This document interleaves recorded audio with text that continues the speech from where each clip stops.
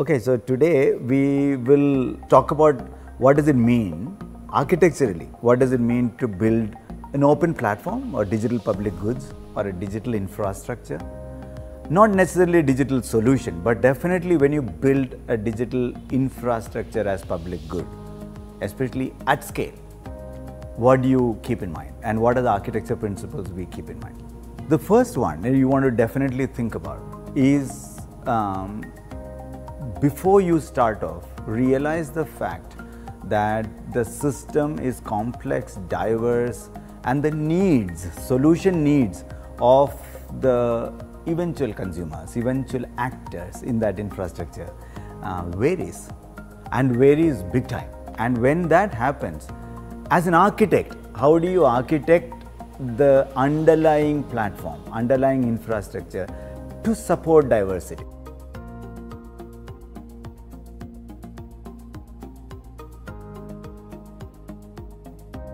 So you want to think about unified. Unified in the sense that everyone works in tandem, connected, orchestrated, but not uniform. An example of that is uh, HTML on the web uh, gave us unification of the web. But when I come to your site and when I go to somebody else's site, your persona or website's persona is so different but I can still use the same browser to see your site as well as somebody else's site. So the specification who built underlying specification called HTML and HTTP, which is a protocol which is part of the infrastructure, allows that unif- unified manner of the web without making it uniform. And that's a very important aspect to keep in mind.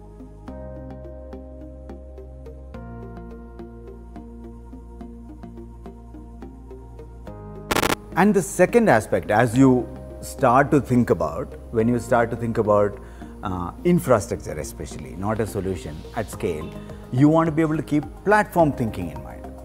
That means you want to be a platform on top of which many solutions are built, many diverse solutions are built. And that requires you to think, you know for a fact, that build for a fact that you are not building all solutions you are probably not building even one solution. Now, if you take an iPhone analogy, they built few solutions. Android built few solutions. Google Mail, Google Maps, they're all solutions.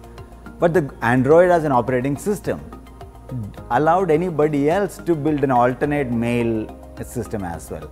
Now, the trick here again is that when you build an infrastructure or a platform, not necessarily knowing how the solutions will evolve by somebody else uh, makes the design of the platform thinking very conscious and, there, and that it needs extensibility, API thinking, um, you know, the fact that you don't drive all the rules of the game, somebody else can build a completely different experience on top of you and being at peace with it. At that infrastructure, that's very, very key.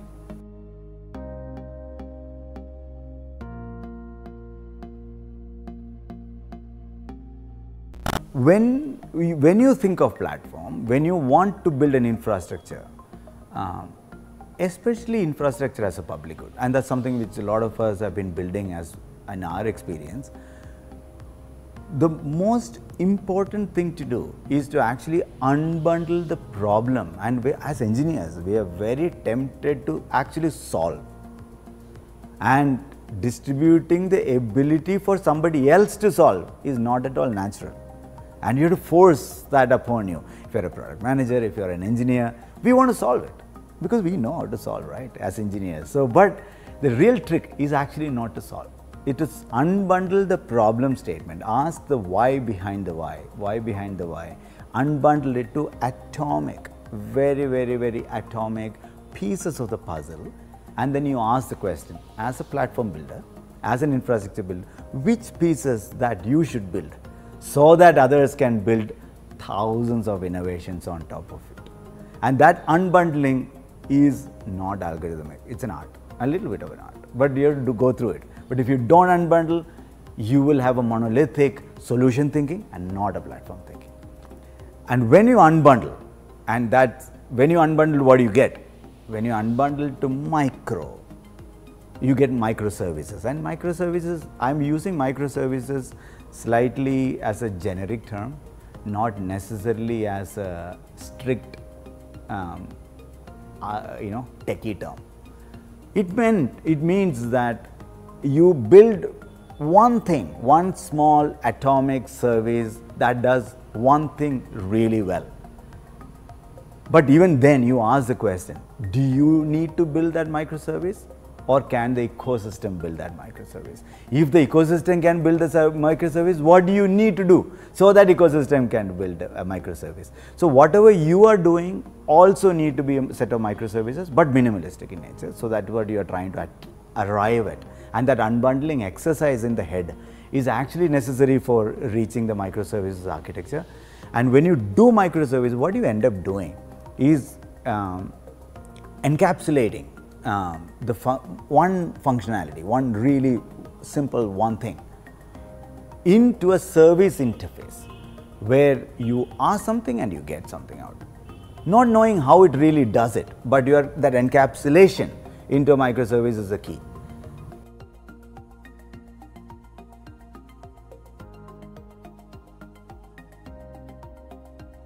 And when you build microservice as an architect, I can tell you for sure from my experience that you will never get it right in the first time and you will never know how the industry is going to evolve, ecosystem is going to evolve, solutions are going to evolve.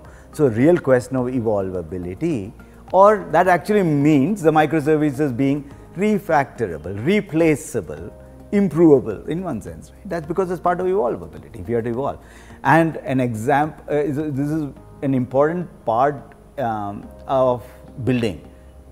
And it's very tricky for an engineer. And that's why I want to talk about this a little bit saying for us we have been taught to get it right in the beginning. Uh, and one thing you learn through experience that you'll never get it right. Then what do you get it right so that you don't have to get it right? You know that's that trick is that then what you are actually getting it right is the interface. So, what do you get it right is the encapsulated microservice interface, not the implementation behind it. So, you might write a little bit of a bad code and get it started, nothing wrong, and then evolve. But since you built evolvability into the architecture through the encapsulation, through the replaceability aspects of it, you are confident that even if you come across a new um, scenario that you want to uh, use or apply in your network, you know you can actually rewrite, improve, replace with a completely better microservice. It also comes in handy when technology is changing. This is when one of the things that you learn as technologists four five years. The technology is dramatically changing and that change needs constant maintenance and constant fix. Otherwise, platforms go stale, becomes unmaintainable. That's a word you hear, right? Becomes very, very messy to maintain. So think of like a house. At humanity, we have done everything in humanity is human scale is through unbundling and through making it replaceable. Think of a house, think of a car. Imagine you have to build your door knobs to doors to glass to bricks to cement to everything yourself. You didn't have to. A large ecosystem, a diverse ecosystem is building variety of components, but they all come together somehow naturally and you can replace. And that maintenance is needed whether you're maintaining a house or maintaining a car constant maintenance is required. And the architecture is amenable to do that.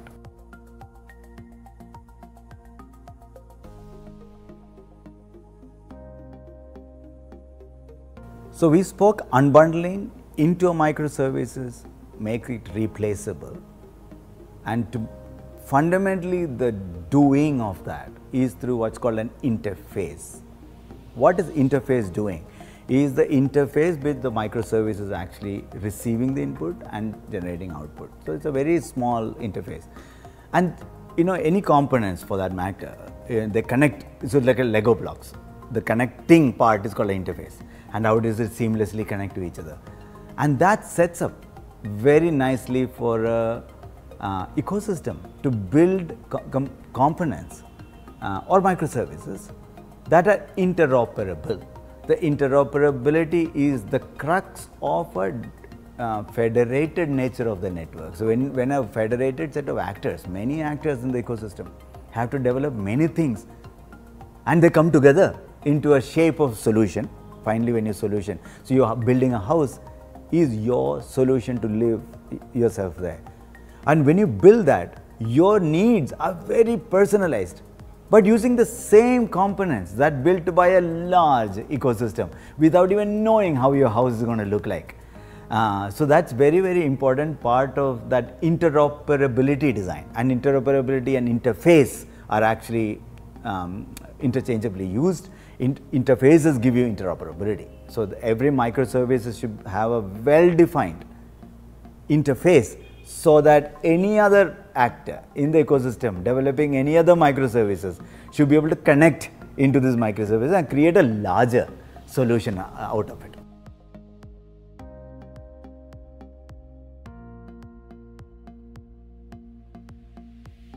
And when you remember when we spoke about diversity, the need of diversity when you do a platform thinking is that not knowing how the solutions will emerge.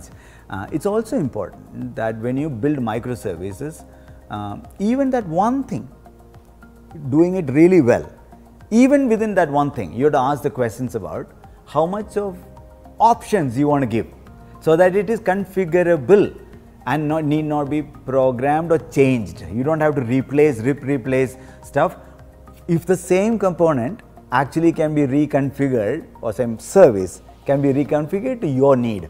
And why is it newer need? It goes back to diversity. Diversity necessitates the requirement that solutions have all millions of solutions will come and those solutions will be so personalized eventually uh, will require and if they have to replace you it's a higher cost. Or refactor you it's higher cost. But if you configure you it's a lower cost. I suppose so giving configurability allows your service. That one thing you wrote. To be adaptable to different solutions and needs because you are given those options and that is a very conscious thing again when you design a microservice. What is the interface and what options do you want to give? So that the microservice can behave a little differently in different contexts. And typically when you do operating system thinking, infrastructure thinking, and most of the people actually think like this because they know they don't know what apps will come and what solutions will come.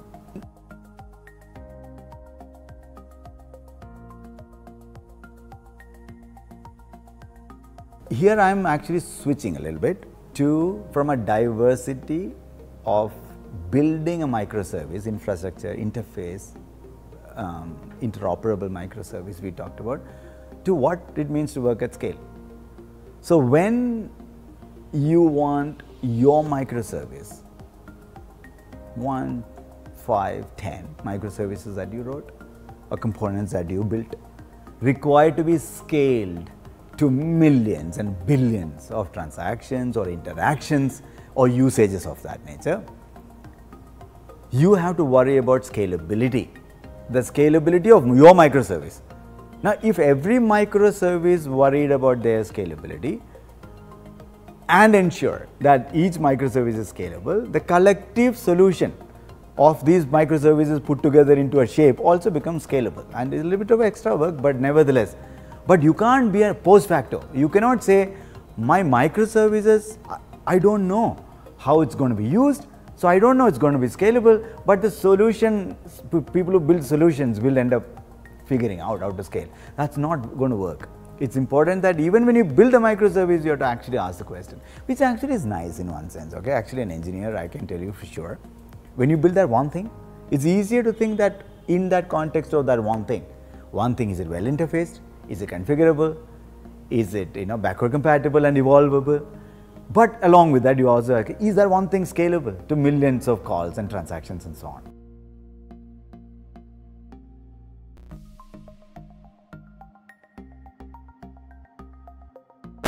And scalability, when you build that scalability, one of the most important thing that you build is telemetry and observability of that uh, behavior uh, into that scalability, right? So you have to make sure that to use it at scale, you need to actually build telemetry to make it observable because again, goes back to the fundamental uh, you know, go through the experience, you realize you don't get it right in the first time. You don't even know how it's going to be used.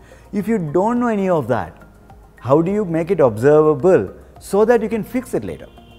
You can know. And this telemetry, the word comes from uh, the space uh, tele means far and metry is metrics and measurement, uh, measuring from far, right? And this comes from the you know the world of satellites and so on, where uh, we couldn't throw humans to space to figure out whether the solar panel is working well or the heat sensor is working well. You can't go and check, just figure out how hot it is, right? Everything had to be built into the system to send telemetry from far. But the good thing that you learn from that architecture is that when your microservice is working at scale and you cannot be everywhere watching physically by humans watching to see what's going on, the only way to do is systemic observability. Systemic observability requires the thinking of telemetry. And telemetry is a means of emitting just minimum set of data from each time the microservice is used. Each time the microservice is good, it emits a little bit of a you know sensory. Uh, okay, let's say it's a payment microservice. Every time that's called, it actually emits a little bit saying that yeah, this happened, this happened, this happened, and this happened, and then you can assimilate that stream of events and today's technology easily allow you to do that. I'll just assimilate then observe, saying that what's going on, right? That's very, very key.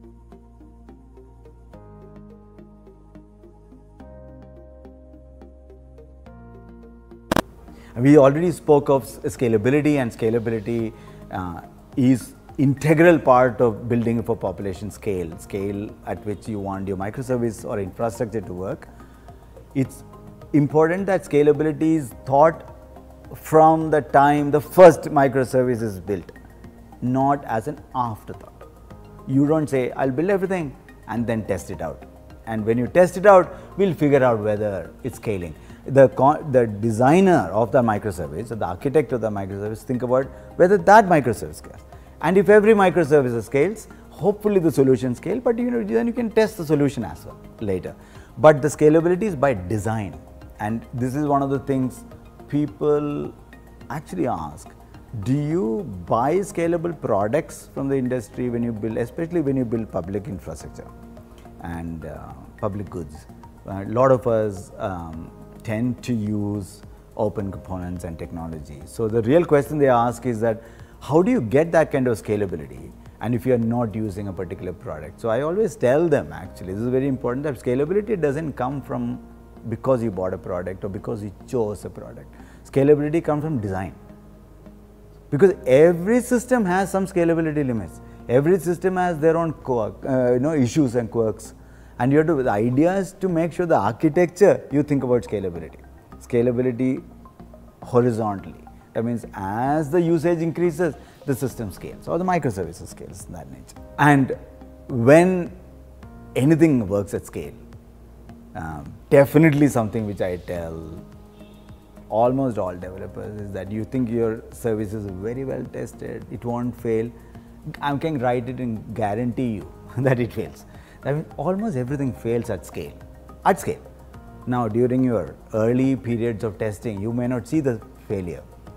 And because you are in the honeymoon period, right? You are testing, you know, 100 users, uh, everything seems to be working well. But the real question is that if you know for a fact that at scale pieces of your puzzle solution, some microservices here, some machines here, some components here are starting to fail. The real question you have to ask is that not, don't ask the question, how can I prevent failure? You, at least from my experience, you cannot prevent failure. You can ask the question, how do I deal with the failure? So when you architect, your question is that, do I have a spare tire or will I make sure my tire will never burst? and I prefer spare tire, knowing that in reality, you can unpredictable events, failure is nature, and you will see nature failure in everything that's failing. Failure resilience is that you are trying to build. So you you build microsite from every first microservices you build, build resilience. If that fails, what happened? When machine fails, what happened? When a network fails, what happens? When a disk fails, what happens? When um, users fail, to users fail to do something, what happens in the system? You know, it's very important, very important that you build resilience by asking that question. Knowing that every piece will fail, ask the question, what happens when you fail? What will happen? What will happen? And that, that just the art of asking, you'll be surprised that you will actually naturally come up with solutions that actually deal with the failure, not prevents failure, and which is called resilience part of the system.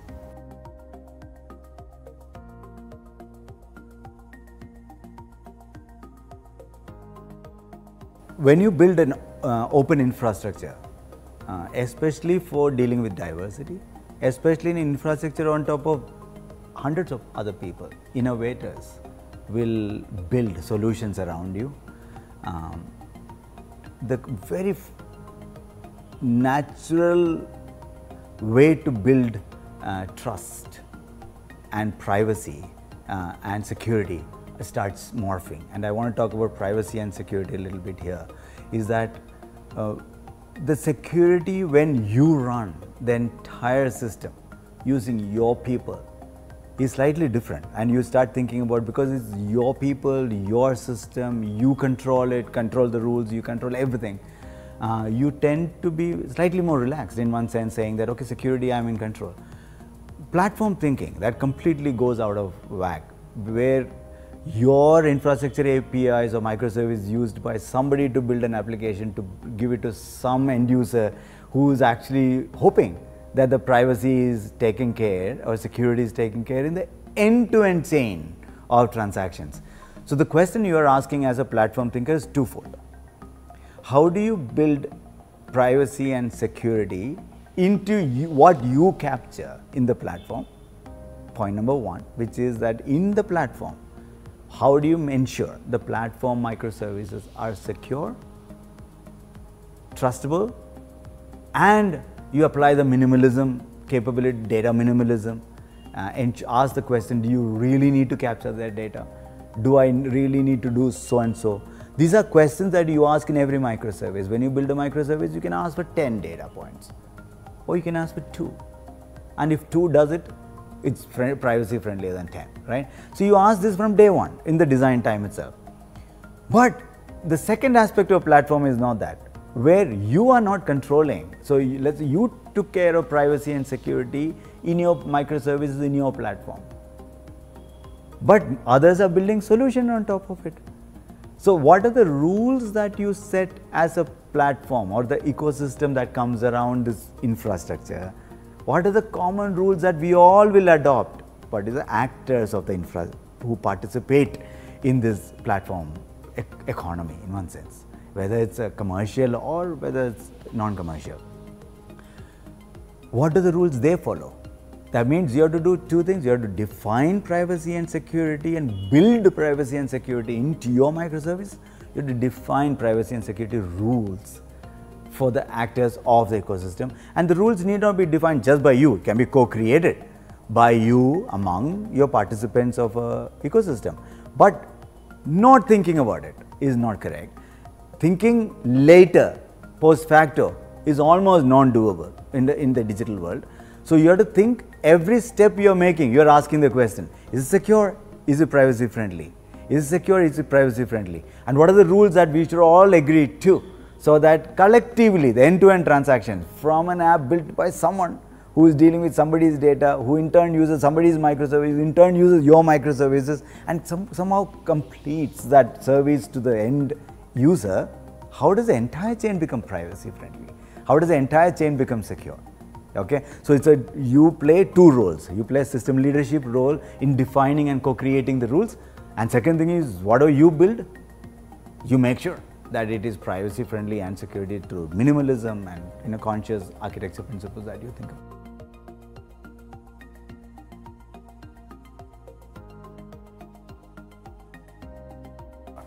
And a connected part of the privacy and security is also trust. Can somebody conduct a transaction and claim that they didn't do? Can somebody conduct a transaction and whether uh, nobody knows whether that person did it or not or can somebody alter the transaction value look at payments or look at anything else they're doing or any other data for that matter uh, any large infrastructure you worry about, how do you establish collective trust, trust in the platform? It goes back to the same two principles in like privacy. What do you use to build trust within your platform? And the three um, tools that you can use to build trust from day one is registry, an electronic registry of actors. Actors means entities, people, machines, everything needs to be in the registry. So that means you know who, what, which machine, who, when, what, right, got done. So that part of the noun, part of the uh, uh, transaction is very clear. Not knowing, it's not about, I don't know who did it, I don't know who altered the transaction. You can't be saying like that. You need to actually build, use registry to do that. Then you build electronic signature to make it non-tamperable, end-to-end. That means once you sign, once your party signs, once other counterparty signs, it becomes non-repudiable and non-alterable. That means it cannot be altered by design. That's how digital electronic signatures work. So extensively use electronic signatures on top of registry and then you bring attestation. Why do you need attestation if you are actually doing everything yourself and if you are a full stack solution play? You probably need less of attestation. But if you are a platform play and if you are an infrastructure play where a large set of actors, entities and people are going to work with you, then you need to also attest them, attest machines, attest people, attest entities to ensure that the, the trust is created collectively in the network and then the low trust people are or low, low trust entities or low trust machines are taken slowly out of the game, out of the network and not in the network. And this, this is not a policing aspect of it at all. It is by building attestation from day one on a registry using electronic signature suddenly allows tools for you. Now these are all tools. You still have to think about what does it mean if I wrongly attest somebody, if I correctly attest, can somebody do a denial of service by uh, uh, sort of coming together and attesting wrongly to somebody? Can you take eject them out? These are all conscious uh, rules that you think on top of the platform. But the tools that you use are these three. Registries, electronic signature, attestation. But then you uh, build rules, co-create the rules to make sure these tools are not uh, that used correctly and the good things prevail mostly and negative things don't prevail uh, most of the time.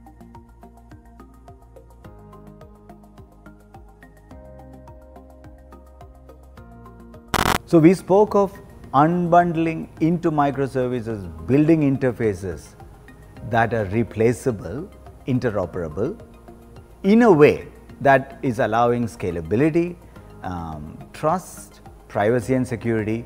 These are all design principles that we walk through.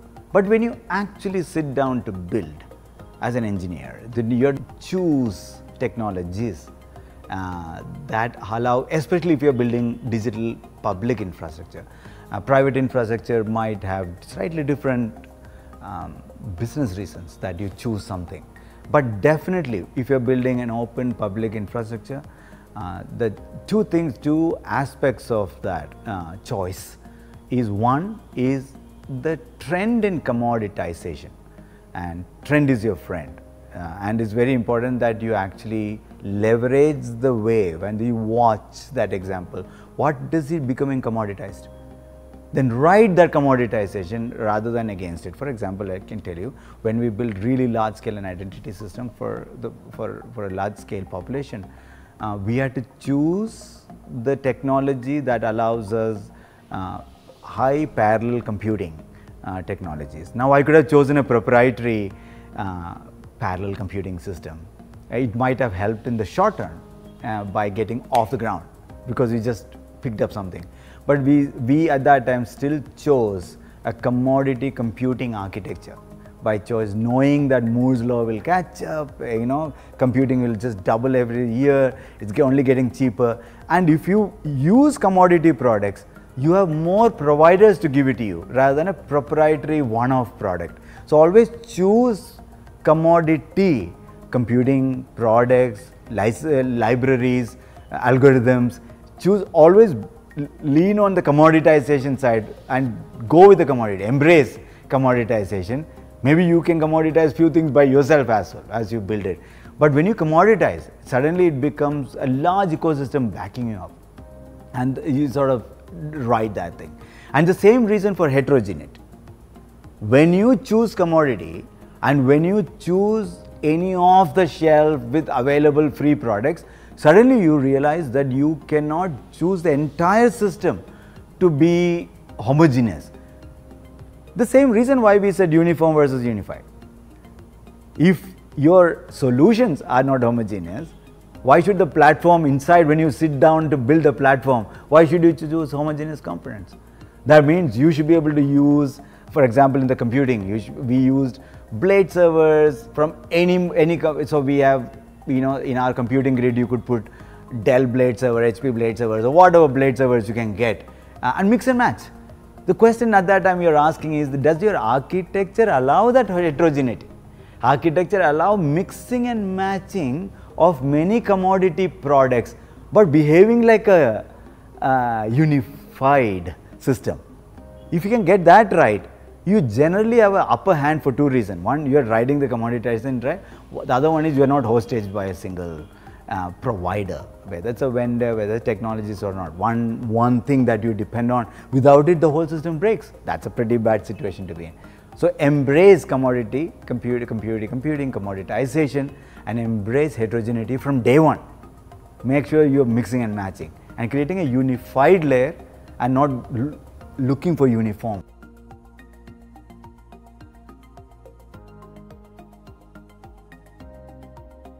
And second part of the commoditization heterogeneity is open source, use of open source. Open source in the last two decades have demonstrated to us that it is a trend that you can't beat. Openness always wins.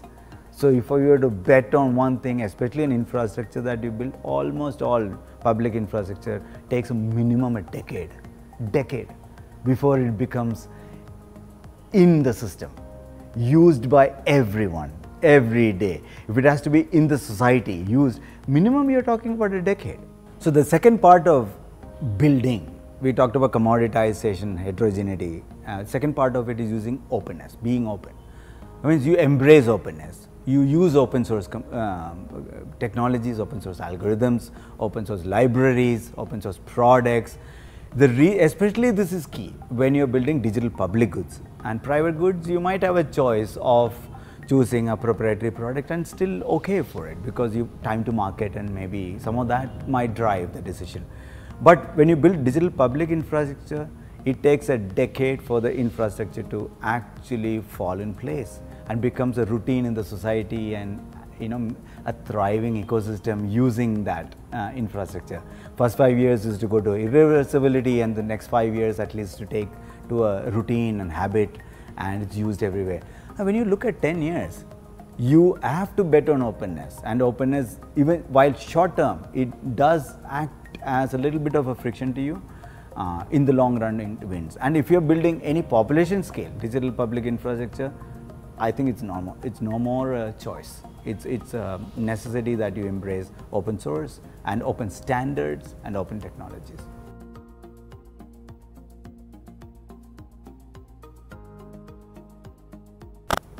And when you actually implement um, on a day to day, large scale transaction system or large scale platform that has billions of interactions that is going on, uh, you realize human beings start becoming, and especially operating a system like that, uh, human beings start becoming a bottleneck. As two reasons. It's not really the cost issue, cost issue is there, uh, but more than that, it is the, the fact that we are very error prone, humans are very error prone in doing repeating tasks.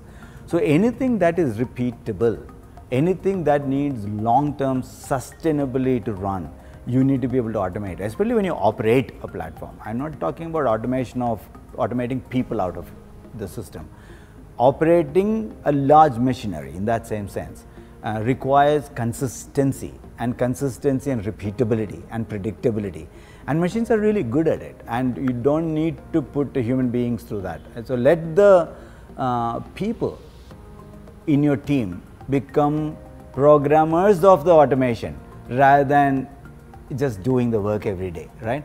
And extreme automation, I use the word extreme automation for a reason, is that automation is no more, especially in a microservices, large scale public infrastructure, automation is no more a good to have. It's a must have. In fact, I even tell my engineers, automation is the only way to do. For example, how do you know the microservices that you offer, which are used by thousands of partners, millions of transactions, has not broken something, broken a promise of that microservice. You promised somebody that if you give me this input, I will give you this output in a predictable way. How do you know it's not broken when you fixed the code? Some engineer wrote some code, how do you know? It's almost impossible to test all possible scenarios manually again and again. So, automation in the world of microservices, in the world of platform thinking, where others depend on you and you don't know what solutions actually out there exist who depend on you, automation is no more a good to have. It's a must have and should be thought from the day one. And it's a little bit tricky because automation is a costly affair. It does take early investment and almost you will have the temptation to say, I'll do it later. But from my experience, I can tell you the moment you say I'll do it later, you're digging yourself into a big deep hole. Okay, that is very tough to come back to.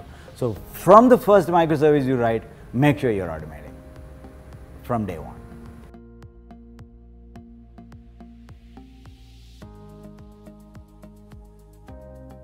And to come back and sort of close, so we watch and maybe think through this in your head. We want a diversity, we want a platform thinking.